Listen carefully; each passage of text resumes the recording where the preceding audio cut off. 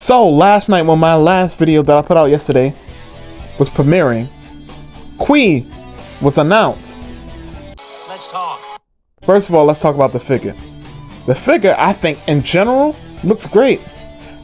One thing I'll say, is it me or does the skin seem a little bit too saturated in color? I'm not complaining. I actually like the look, but I feel like it was, he was like a more paler purple, at least in the anime. Maybe this is the manga colors. I'll have to see and post when I'm editing this video. But one gripe I've heard is that, you know, well, not even I've heard, but I figured people would have is that it's on a 2.0 mode. I was wondering why is it on a 2.0 mode? And uh honestly, I can't even think of a good reason. If Vegeta would be on a 2.0 mode, why wouldn't this be on a 2.0 mode, you know? Now, I think I care a little bit less about this being on a 2.0 mold or 2.5-esque mold only because it's Cui, you know? Not the I wasn't really super anti for the Cui. I think it's cool to have him because he's a different character than what we usually get, you know. A video I talked about yesterday, right? Getting a bunch of Vegetas and Gokus and, you know, a bunch of the main characters, which is to be expected. But, you know, it's always, it's a nice change of pace. Now, the facial expressions, this is what I mean by when Tamashii knows that they can't necessarily milk a character, the facial expressions are always coincidentally on point. Let's look through the pictures. These facial expressions are amazing. This is when I remember this uh, facial expression from the Tenkaichi games. Lord Frieza! And then, then he sneak attack you. His bitch ass. But overall, yeah, this figure looks awesome. Yo, look at that dookie face! Yeah, I've been waiting for them to put a, uh, one of these uh, exploding slash about to be vaporized expressions with these characters. This is like his best expression. This is awesome. This is fantastic. I can't hype it up enough. Excellent expression. Because that's exactly like how he looked. So this is what I mean about Tamashii being able to, you know, give us these facial expressions with pinpoint accuracy. It's just a matter of, hey, I need to sell you another Goku, which is why, or another Vegeta, which is, or another Gohan, which is why, you know, we get uh, so many of the figure. They need to always sell us a, another of the main character, but they can't keep on selling us a bunch of Whis, right? This is a good example of that. Now, also, as to be expected nowadays, he comes with parts for the up the Vegeta figure. So now people are in a position where it's like, damn. Well, if I get Cui, I might as well get Vegeta type uh, situation, and it looks good. What can I say? Well, Vegeta, in that pose definitely looks good. Now, the price, as you can see, sixty dollars. It is what it is. Oh, it's a premium Bandai exclusive. Well, what do you know? like, what are you gonna do? You know, at this point. No, I've made enough videos complaining about that, talking about that and whatnot.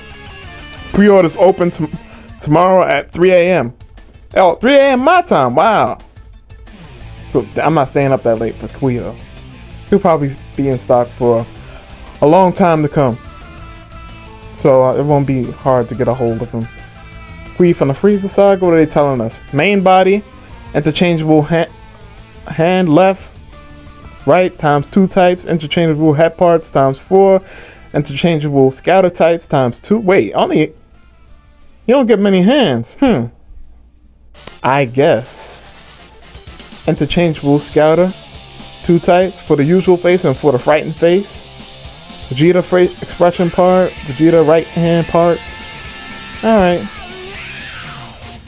And I could you can expect them to be about Goku's height, I'm assuming. But this thing is awesome. Now, let's get down to the discussion part of the video. You know, I'm saying it's awesome specifically for the people that are always worried, oh my goodness, they're not gonna make whatever movie character or insert Kid Buu here. Of course they'll make it. If they made Cui, everything is on the table. And I saw a comment like that on my most recent video. I didn't respond to it yet as the as I'm saying it. But if they made this, anything is on the table. It's Cui. So everything, anything and everything else is on the table. Everything that I'll say like, I remember I was saying they'll probably make that movie Android. Some people were like, ah, I doubt it. Oh, they'll make Bojack. Uh, I doubt it. What do you, why wouldn't they? It's money in their pocket. They made Cui. Anything is on the table. That's why this is one of the best reveals. Just to show people, hey, I know we didn't get to what we, you know, the, the characters with the cool factor, you know? We didn't get to the Super Vegeta. We didn't get to the uh, Grade 3 Trunks or Ultra, Ultra Trunks. We didn't get to our 2.0 Cell, our, our redone Cell. We didn't get to our uh, 3.0 design Super Saiyan 2 Gohan. You know, we didn't get to the, you know, the cool stuff with the cool factor to it. But I'm saying that to say, once again, I'm reiterating it so y'all understand. If this is on the table, any any and everything else is on the table. Think about it. Like we gotta pay attention to the survey, see what's on Tamashii's mind to be made. Clearly, like when we saw that survey, that last survey that they did, we've seen mad stuff that people wanted on that survey. Nine times out of ten, they're trying to just see what has the highest demand. Most likely, all the stuff on the survey will probably get made at some point. It's just a matter of time, which I know us as fans in general can be very impatient about. But yeah, Cui, uh, you're gonna probably get Spopovich, Yakon, all those guys, uh, Yamu, and the Buu Saga. When we get to that, when we get to that point, now I know it's been kind of a drag because, all right, how many people want Cui? Like I said, it, there is that contingency of people that's like, yo, we rounding out the collection, you know, and you're not probably for a long time to come. You're not gonna get any better Cui figure than this for a long time to come, unless in the distant future when we like old people, they come out with a new and improved SH Figuarts line, or another company gets a hold of Dragon Ball, and then Tamashii's gonna have to compete with them. You know.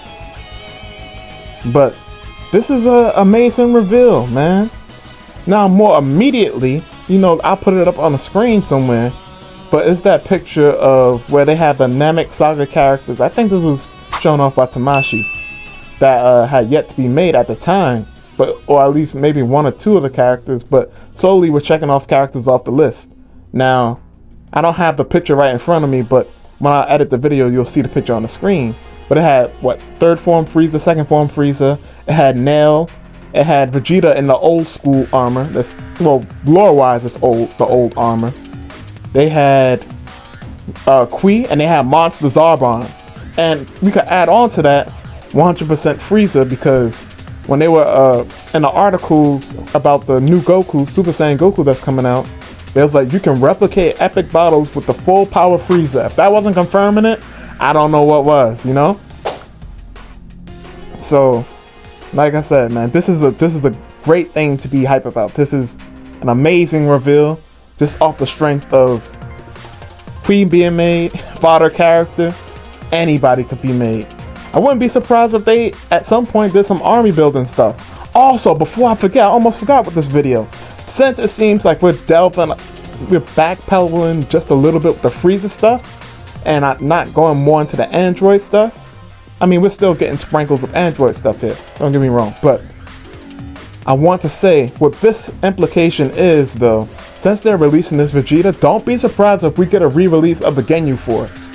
Now, I think the best way for them to not even the best way for them to do it because the best way for them to do it would be to have them be general releases but i think the way that they are going to do it is they'll be san diego comic-con exclusives because now we have a precedence for things that were previously premium bandai exclusive going to a potential comic-con exclusive and the way we know about that is you know the raditz that came out that was re-released raditz was originally a premium bandai exclusive uh, this past SDCC, he was a exclusive there.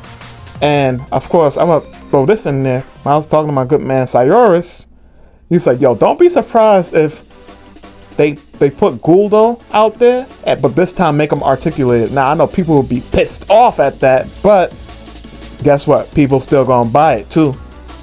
Now, so you know, it's a, it's often a lot of you know angriness about you know premium Bandai stuff, all stuff being exclusive, but it's a it's a level of well, people gonna buy it, so the people that's buying it is outweighing the people that's complaining about it. Even if it's they we seem more vocal, you know. But with all that being said, I think that about does it. This was a rather simple video, but I think this is, like I said, great news, great news. Before I ramble on anymore, This has been Bombastic Plastic. Stay fantastic. Have a blessed day.